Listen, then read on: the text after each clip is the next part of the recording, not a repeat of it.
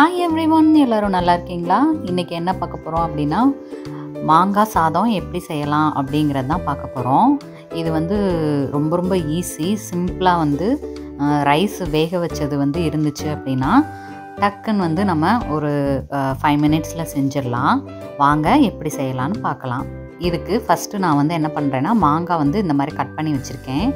அதை இந்த மாதிரி வந்து துருவி எடுத்துக்கோங்க. அந்த துருவுறதுல பெரிய இது இருக்கும்ல ஹோல் அந்த இதில் வந்து துருவி எடுத்துக்கோங்க. ஸோ இப்போ அந்த சாதத்துக்கு தாளிக்க கடுகுளுந்து எடுத்துக்கணும் ஃபஸ்ட்டு அடுத்து வந்து பெருங்காயம் சேர்க்க போகிறோம் கருவேப்பிலை கொஞ்சம் சேர்த்துக்கலாம். இஞ்சி கொஞ்சம் துருவி எடுத்து வச்சுருக்கேன். அந்த அளவுக்கு போட்டால் போதும். அப்புறம் ஒரு பச்சை மிளகா. பச்சை மிளகா வந்து வாசம் நல்லாயிருக்கும் அதுக்காக அப்புறம் காஞ்ச மிளகாவும் சேர்க்கணும். அது வந்து மாங்காவோட புளிப்புக்கு தகுந்த மாதிரி சேர்த்துக்கலாம். அப்புறம் கொஞ்சம் நிலக்கடலை அப்புறம் குழம்பு கடலை பருப்பு அப்புறம் கொஞ்சம் மஞ்சத்தூள். இவ்வளோ தான் வந்து நம்ம சேர்க்க போகிறோம் மாங்காவை இந்த மாதிரி துருவி எடுத்துக்கிட்டேன் நான். அப்புறம் சாதம் வந்து இந்த மாதிரி குக்கரில் வேக வச்சு எடுத்திருக்கேன். சாதத்தில் உப்பு சேர்த்து தான் வேக வச்சுருக்கேன் நான். இப்போது ஒரு கடாய் எடுத்துக்கோங்க. அதில் நல்லெண்ணெய் வந்து சேர்த்துக்கோங்க. நல்லெண்ணெய் விட்டால் தான் இந்த சாதம் வந்து ரொம்ப வந்து டேஸ்ட் வந்து சூப்பராக இருக்கும். ஸோ இப்போ வந்து நம்ம என்ன பண்ணிட்டோன்னா எண்ணெய் காஞ்சிருச்சு. இதில் வந்து கடுகுளுந்து வந்து சேர்த்துக்கலாம்.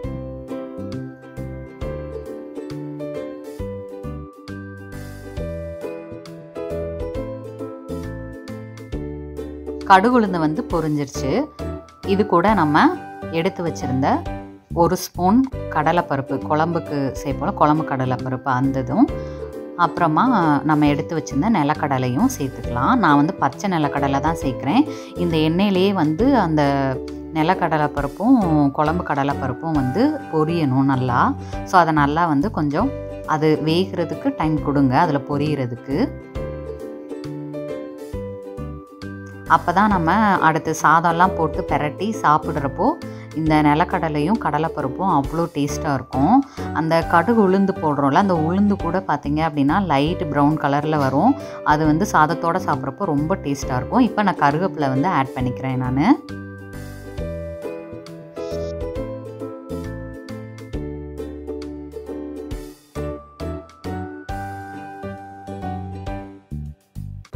இந்த மாதிரி நல்லா அது வந்து எண்ணெயில் பொரியிற அளவுக்கு வறுத்துக்கணும்.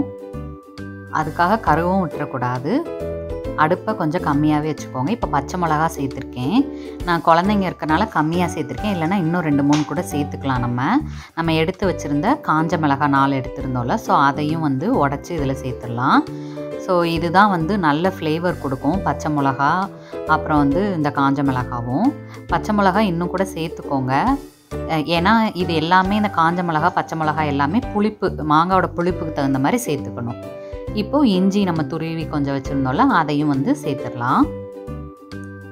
இதுக்கப்புறமா வந்து மெயினான இந்த ரைஸ்க்கு மெயினே வந்து பெருங்காயம் தான் பெருங்காயம் வந்து இந்த அளவுக்கு சேர்த்துக்கோங்க. ஒரு மூணு இல்லை நாலு பெஞ்ச் அளவுக்கு சேர்த்துக்கலாம். அவ்வளோதான் இப்போ இது கூட அப்படியே நம்ம துருவி வச்சுருந்த மாங்காவை சேர்த்துடலாம். இதை நல்லா கொஞ்சம் வதக்கி விடுங்க. இந்த மாங்காய் சாதம் பண்ணுறதுக்கு நம்ம எந்த மாங்காய் வேணாலும் எடுத்துக்கலாம். இது மெயினாக வந்து அந்த மாங்காவோட புளிப்பு மட்டும்தான் நம்ம பார்க்கணும். கட் பண்ணுறப்பவே டேஸ்ட் பார்த்துட்டு அதுக்கு தகுந்த அளவுக்கு நம்ம வந்து காரம் மட்டும் காரம் உப்பு வந்து கரெக்டாக போட்டால் இந்த சாதம் செம்ம டேஸ்ட்டாக இருக்கும். நான் இதில் கொஞ்சமாக வந்து உப்பும் சேர்த்துருக்கேன். இந்த மாங்காய்க்கு மட்டும். இப்போது நம்ம ரைஸ் பாயில் பண்ணியிருந்தோம்ல அதை வந்து இதில் ஆட் பண்ணிடுறேன் நான். நான் வந்து இப்போ ஒரு ஒன்றரை கப் அளவு ரைஸ் வந்து இதில் சேர்க்குறேன் நான். இந்த ரைஸில் வந்து நான் ஏற்கனவே உப்பு போட்டு தான் வேக வச்சுருக்கேன். ஸோ அதனால் வந்து இது எல்லாம் மிக்ஸ் பண்ணதுக்கப்புறமா உப்பு தேவைன்னா ஆட் பண்ணிக்கலாம். இது கூடவே வந்து இப்போது நான் மஞ்சத்தூள் வந்து ஆட் பண்ண போகிறேன் இந்த அளவுக்கு ஆட் பண்ணிக்கலாம். இதை வந்து இப்போ நம்ம என்ன பண்ண போகிறோம் அப்படின்னா நல்லா வந்து பெரட்டி விட்டுறணும். நான் இந்த ஸ்டேஜில் அடுப்பெல்லாம் ஆஃப் பண்ணிட்டேன். மாங்காய் வதங்கின உடனே ரைஸ் ஆட் பண்ணுறோம்ல அப்போவே வந்து அடுப்பை ஆஃப் பண்ணிட்டேன். ஸோ இதிலையே வந்து நம்ம சாதத்தை போட்டு அப்படியே கிளறிடலாம்.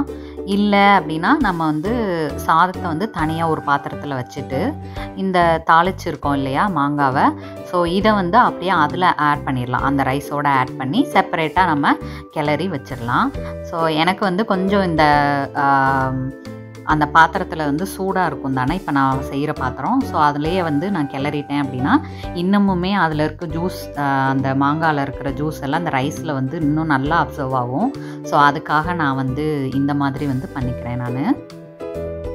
இப்போ உப்பு செக் பண்ணதில் உப்பு கொஞ்சம் பத்தலை. ஸோ அதனால் கொஞ்சம் வந்து ஆட் பண்ணிவிட்டு இந்த சூட்டிலே கிண்டிட்டோம் அப்படின்னா நல்லா அழகாக வந்து ரெடி ஆகிடும் நம்மளுக்கு. நல்ல டேஸ்ட்டாக உப்பெல்லாம் பிடிச்சி அந்த மாங்காவோட அந்த ஃப்ளேவர்லாம் சூப்பராக வந்து அந்த ரைஸில் வந்து வந்துடும் ஸோ இவ்வளோ தான் ரொம்ப ரொம்ப ரொம்ப ஈஸி மாங்காய் சீசன் அப்போலாம் நம்ம அடிக்கடி இந்த மாதிரி செஞ்சு சாப்பிட்டுக்கலாம்.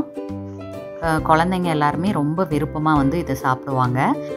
இந்த ரெசிபி உங்களுக்கு பிடிச்சிருந்துச்சு அப்படின்னா நம்ம சேனலை மறக்காமல் சப்ஸ்கிரைப் பண்ணிவிடுங்க லைக் பண்ணுங்கள் ஷேர் பண்ணுங்கள் தேங்க்யூ